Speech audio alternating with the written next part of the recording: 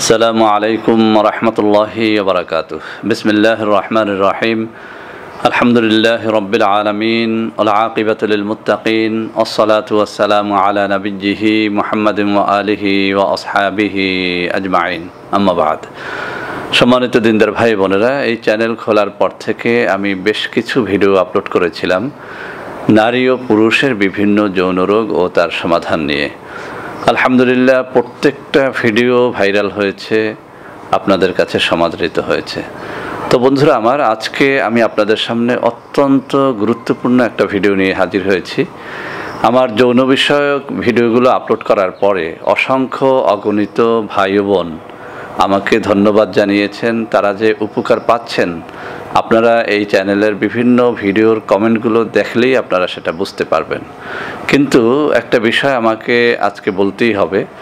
কিছু ভাই ও বোন বলেছেন যে, স্যার, আপনার ভিডিওগুলো অনেক সুন্দর, অনেক মানুষই এই ভিডিওগুলো থেকে উপকৃত হচ্ছে।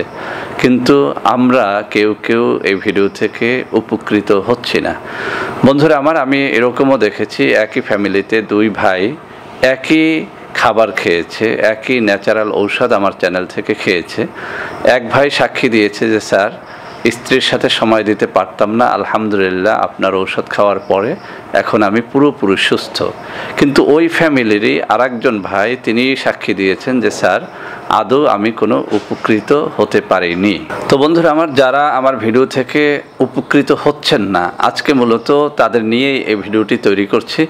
অতএব যারা উপকৃত হতে চান, আমি তাদেরকে বলব ভিডিওটি না টেনে একদম শুরু থেকে শেষ পর্যন্ত অত্যন্ত মনোযোগের সাথে দেখুন। ইনশাল্লাহ আপনি যত বড় যৌন রোগী হয়ে থাকুন না কেন ইনশাল্লাহ আপনি এখান থেকে অবশ্য অবশ্যই এমন কিছু শিখতে পারবেন। আপনার সারা জীবনের যৌন হতাশা, যৌন দুশ্চিন্তা, এটা দূর হয়ে যাবে ইনশাআল্লাহ। তো বন্ধুরা, আমার যে সমস্ত বন্ধুরা বলেছেন যে আমার চ্যানেল থেকে বিভিন্ন রকমের ঔষধ খেয়েও তারা উপকৃত হচ্ছেন না, এই কথাটি শোনার পর আসলেই কিন্তু একজন ডাক্তার হিসেবে আমি অত্যন্ত চিন্তিত ছিলাম। তো বন্ধুরা, আমার এই বিষয়টি নিয়ে যারা যারা এরকম কমেন্ট করেছিলেন যে এই চ্যানেলের বিভিন্ন ন্যাচারাল ঔষধ খেয়েও তারা উপকৃত হচ্ছেন না, আমি ব্যক্তিগতভাবে তাদের সাথে যোগাযোগ করি এবং বোঝার চেষ্টা করি আসলে তার সমস্যাটা কোথায়। আলহামদুলিল্লাহ, প্রায় এক মাস গবেষণার পরে আমি সিদ্ধান্তে উপনীত হয়েছি যে এই সমস্ত ভাইদের একটা নির্দিষ্ট কঠিন রোগ রয়েছে, যে কারণে তারা শুধু আমার চ্যানেলের ঔষধ নয়, তারা পৃথিবীর কোনো ডাক্তারের ঔষধকেই কিন্তু উপকৃত হতে পারবে না। তো বন্ধুরা, আমার সেই সমস্যাটি কি? আমি তাদের কাছে যখন জানতে চাইলাম এক এক করে তাদের শারীরিক সমস্যা, তখন তাদের মুখ থেকে একটা কথা প্রায় অধিকাংশ রোগীর মুখ থেকে বেরিয়ে এলো, সেটা হচ্ছে তাদের সবার পেটের সমস্যা আছে। কেউ বলেছেন তাদের ডিসেন্ট্রি আছে, কেউ বলেছেন আমাশয় রয়েছে, কেউ বলেছেন গ্যাস্ট্রিকের সমস্যা রয়েছে, কেউ বলেছেন চরম বদহজম রয়েছে।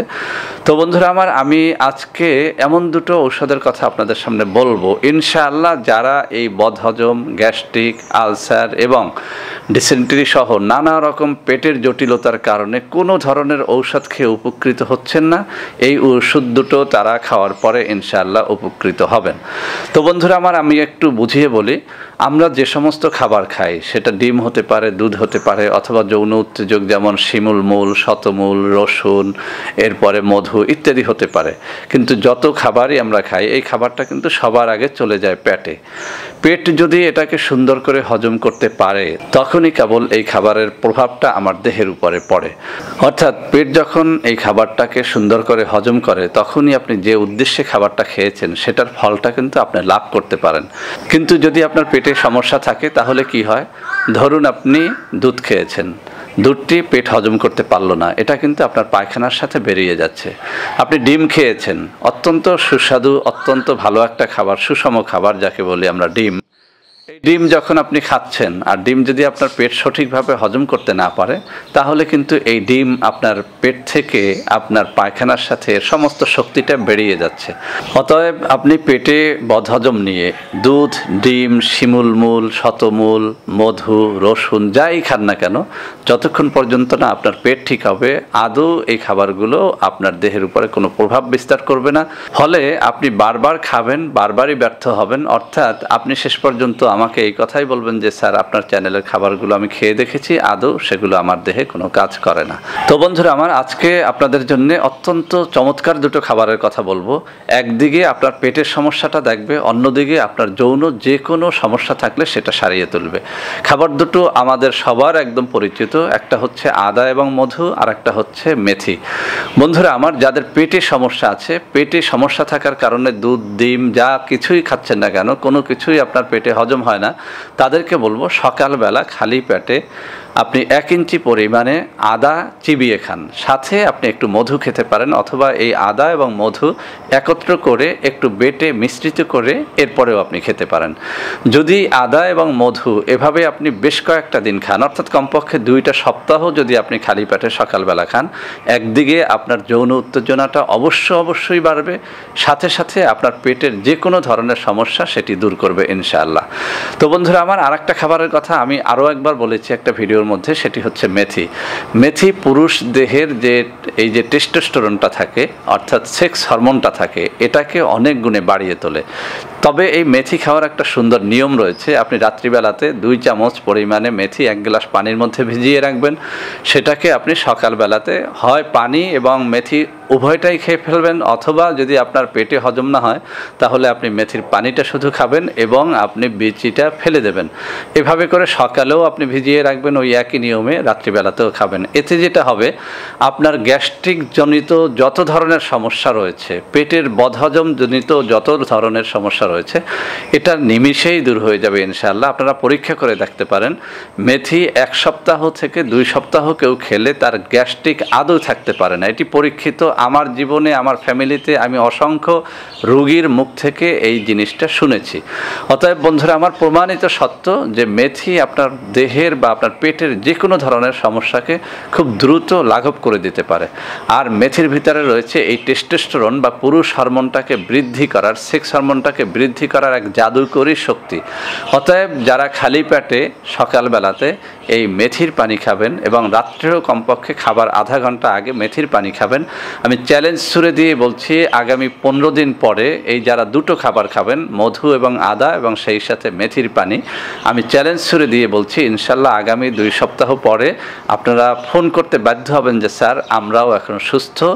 যে কোনো যৌন উত্তেজক খাবার কিন্তু এখন আপনি হজম করতে পারবেন, আপনি পরীক্ষা করে দেখেন।